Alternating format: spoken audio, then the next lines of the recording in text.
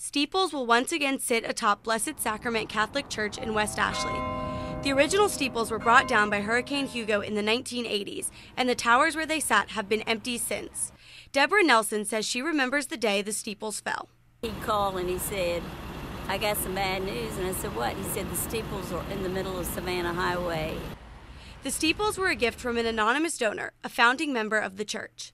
Sally Bent, a Charleston native and Blessed Sacrament teacher, says the community is excited to see the steeples rise once again. Since they came yesterday, it's, it's very exciting for all of us, especially those that remember when there were steeples on there before Hurricane Hugo.